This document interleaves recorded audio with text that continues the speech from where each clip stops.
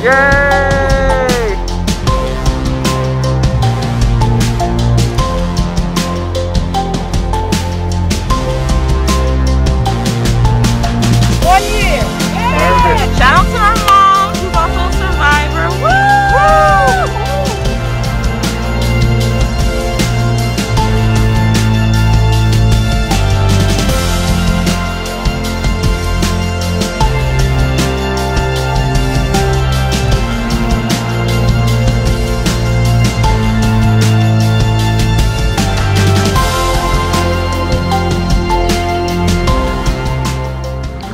Survivors one year.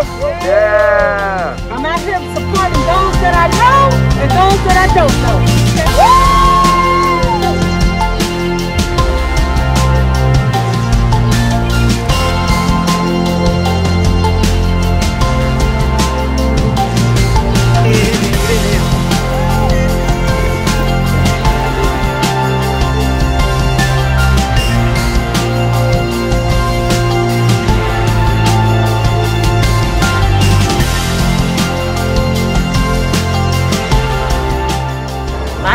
Laurel Coleman, and I'm here supporting my sister.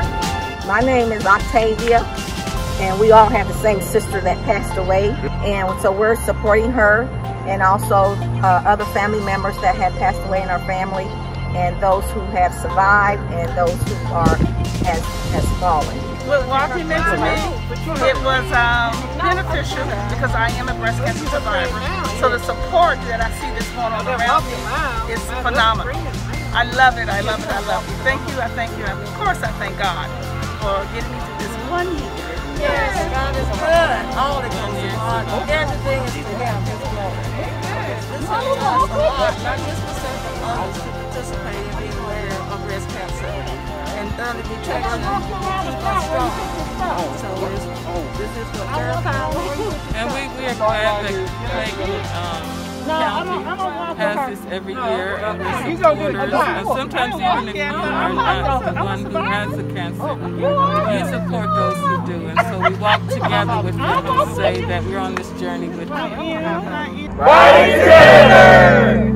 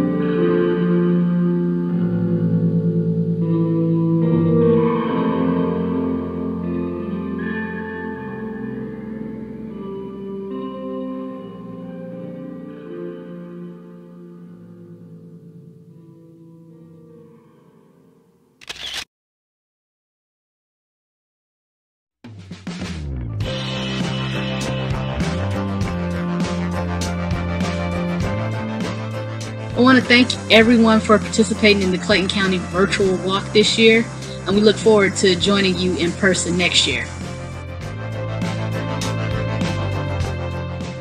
Hey everyone, thanks for tuning in for another virtual visit from Clayton County Parks and Recreation.